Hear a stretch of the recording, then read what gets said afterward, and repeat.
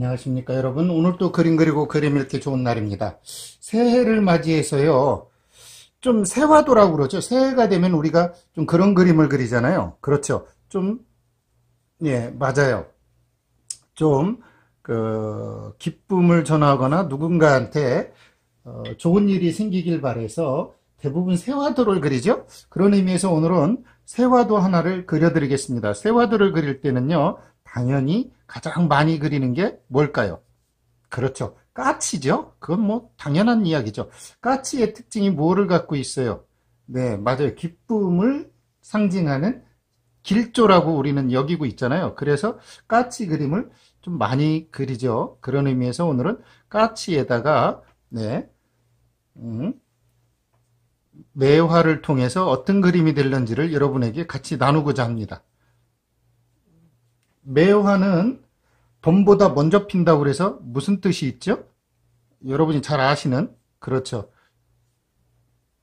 희보 춘선이라고 그래서 예 봄보다 앞서 꽃을 피우고 봄 소식을 전한다고 그래서 춘선이라는 게 매화가 갖고 있는 의미예요. 뭐 여러 가지 뜻이 있지만 예, 그런 의미가 있다는 것을 알고 오늘 이 그림을 좀 이해하시면 더 좋겠죠. 제가 그리는 그림의 방식을 여러분이 뭐 따라 하시든 안 하시든 상관이 없습니다. 음? 음?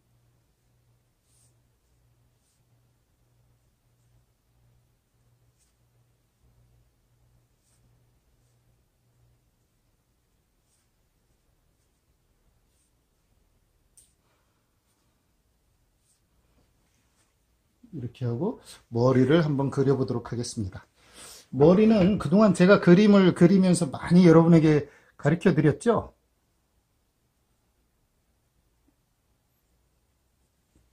그 제가 그리는 방법을 여러분이 이제는 다 아실 거예요. 아 이렇게 그리기구나 라는 걸 짐작을 하실 거예요. 일단은 이렇게 해서 어? 음. 그래 놓고 당연히 이렇게 될 겁니다. 자, 어느 정도 까치의 형상이 잡혔죠? 예, 두 마리를 그리는 이유가 뭘까요? 쌍이희자예요. 그러니까 기쁨이 두 배로 오란 이야기입니다. 그, 잘 아시겠지만, 쌍이희자는 사실 한자에서 있는 자가 아니라 길상을 나타내기 위해서 만들어낸 자죠. 기쁘리자를 두 개. 그래서 그것을 하면 길상과 경사 내지는 복 이것이 두 배로 온다라는 뜻이 있어요. 그래서 결혼할 때나 어떤 일이 있을 때 고자를 좀 많이 이렇게 하신다는 걸 여러분이 이제는 아실 거예요. 응? 야, 이렇게 하면 벌써 대략적인 느낌이 오죠? 이렇게 해놓고, 뭐, 잘 아시겠지만, 까치는 좀 흰색이 많아요. 그렇다고 해서 흰색을 너무, 어, 이렇게 노골적으로 표현하면 안 되고, 이런 식으로 합니다. 이렇게. 그리고 여기에 당연히 이렇게 뭐가 있어요. 음.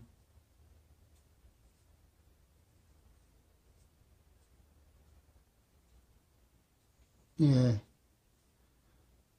발이 이렇게 있겠죠. 이것이 까치 그림을 그리는 전형적인 느낌이에요. 그리고 물론 여기에 이제 흰색을 더 칠하기도 하고 그러는데, 야, 까치는 원래 거의 검정에 가깝죠. 그쵸? 야, 이렇게, 이렇게 그려놓고, 제가 여기에 뭐를 그릴 거느냐, 매화를 그려야 되잖아요. 매화를 그리기 전에 앞서 이 까치의 다리를 좀 한번 해봅시다. 이렇게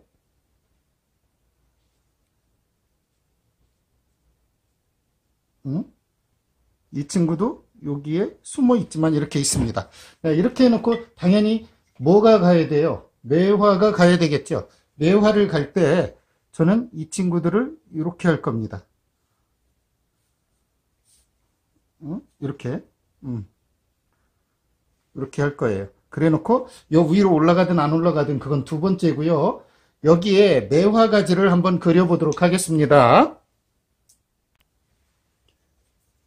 매화 가지를 어떻게 그릴 거냐 저는 여러분의 상상을 뒤집고 이런 식으로 그리도록 하겠습니다.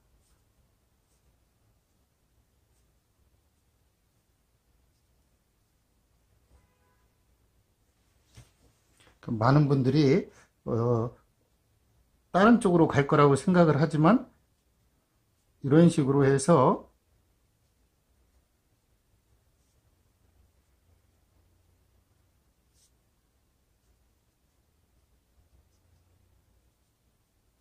이쪽을 이렇게 하나 해주고요. 그 다음에 과감하게 이쪽을 쭉 올려서 떨어지는 걸 한번 해보도록 하겠습니다.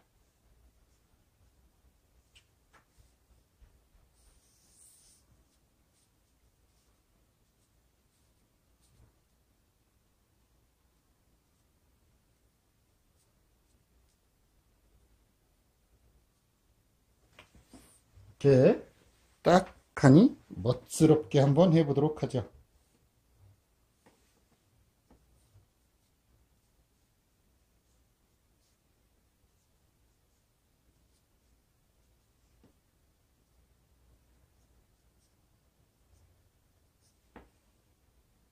음, 이렇게 해서 봄매화를 그려서 한번 해보도록 하죠. 여기 이제 꽃을 한번 달아보도록 하겠습니다. 봄 매화의 꽃을 되도록이면 이거 쳐다보는 쪽에 먼저 좀 그려보도록 하겠습니다. 제가 꽃을 그리는 방법을 여러분이 따라 하든 따라 하지 않든 상관은 없어요. 중요한 건 봄매화의 그 청아함과 청순함이 이 꽃에 좀 들어간다라고 생각을 하시면 좋겠습니다. 그렇다고 해서 이 꽃이 너무 많거나 크면 어떻게 되죠? 그렇죠. 이 봄 매화의 본 느낌이 좀 많이 상실되겠죠. 그래서 되도록이면 이렇게 예, 뒤집힌 것도 좀 그리고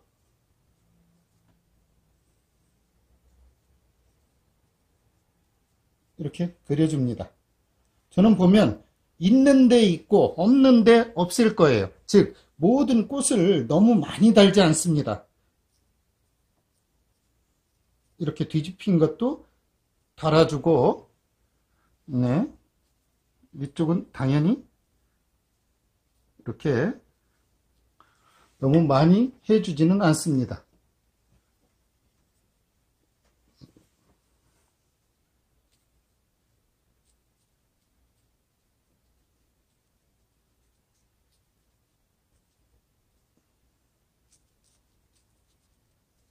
이렇게 하고 이제 이곳에 뭐를 하느냐 제가 그동안 여러분에게 많이 설명을 해드렸어요.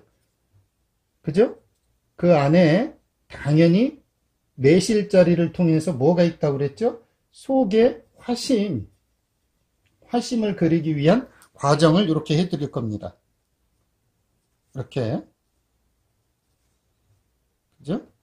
뒤집힌 건 그냥 내비두고요.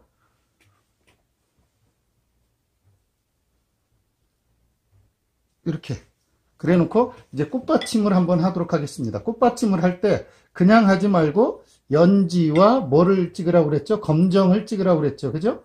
연지를 충분히 찍어주고 검정을 찍습니다. 그러면 이 느낌이 꽃받침이 이렇게 되겠죠.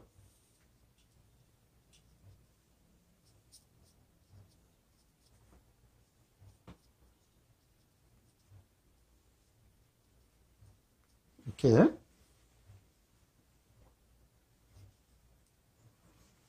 희보춘선 즉 외화는 봄보다 먼저 봄 소식을 전한다고 그래서 꽃 소식을 전한다고 그래서 춘선이라고 그랬죠. 그리고 까치는 희작이라고 그랬어요. 그러면 그것을 합쳐서 쌍이죠. 두 마리니까. 그러면 이것은 쌍이 희자를 쓰는 희보 춘선이라고 하는 작품이 되겠죠. 이런 식으로 작품을 읽을 수 있어야도 되고요. 또 작품을 만들 수도 있어야 됩니다. 봄이 됐을 때 새 화도로 누군가에게 이렇게 전해주고 싶을 때 그럴 때 어떤 작품을 그린다? 이런 작품을 통해서 야 나는 지금 당신에게 봄보다 먼저 기쁜 일이 여러분 집에 가득하길 바란다는 길상의 그림이 이렇게 그려지는 거죠. 이렇게 해놓고요. 이제 마르기 전에 화심을 할 건데 저는 조금 기다릴 거예요. 그동안은 하도 안 기다리고 빨리빨리 했더니 여러분들이 좀 번지는 것이 진짜 그렇게 그리는 건 줄 알고 착각을 해요. 그건 아닙니다. 좀 마를 때까지 기다리십시오. 야, 그 사이에 저는 여러분에게 약간의 다른 거를 하나 보여드릴게요. 이 까치에 흰색을 좀 이렇게 찍어서 좀 보여드릴게요. 흰색을 이렇게 찍어서 이 부분에 이렇게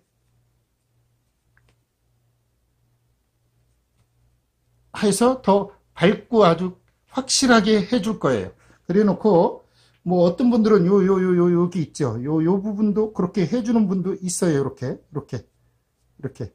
그런데 저는 그 부분은 어차피 이렇게 좀 남겨놨기 때문에 그냥 이렇게 놔둘 겁니다. 이렇게 해놓으면 누가 봐도 까치의 느낌이 확연해지죠. 물론 여기에 이렇게 흰색을 더 주면 좋습니다. 이렇게 흰색을 이렇게 주면 더 좋아요. 야 이렇게 해놓고 그 다음에 뭐 입 안을 붉은기를 조금 이렇게 넣어줍니다. 왜? 새해에 좋은 소식이 온다고 알리고 있는 입이니까 조금 붉은 기운을 이렇게 넣어주면 더 좋겠죠. 이렇게 해놓으면 벌써 희보춘선이라는 그림이 완성이 됐어요. 그런데 이때 약간의 이런 느낌을 착 넣어주면 봄물이 더 올라오겠죠. 그죠? 이렇게 해서 봄빛이 더 올라옵니다. 이렇게. 야, 그리고서 이제 뭐를 하느냐? 수술을 할 겁니다. 이 수술이 조금 두툼해서 여러분이 보기에 좋게 표현을 할게요. 좀 마르진 않았지만 이런 식으로 제가 약간 두툼하다고 한 이유는 안 말랐기 때문에 번지기도 하고 여러분이 잘 보이라고 이렇게 두툼하게 하겠습니다.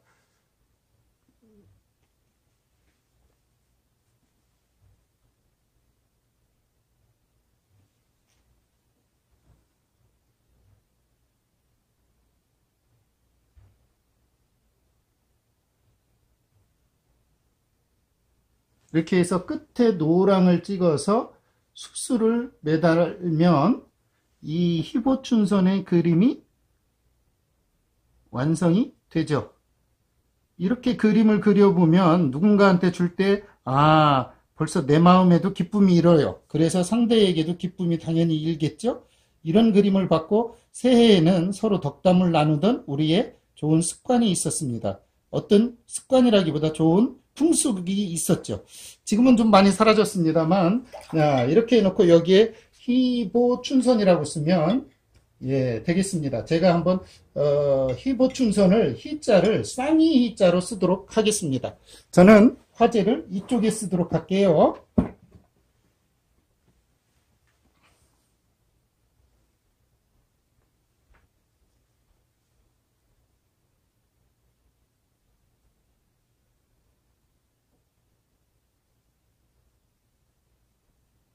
이렇게 희자를 두 개를 해놓고 그 다음에 보를 씁니다.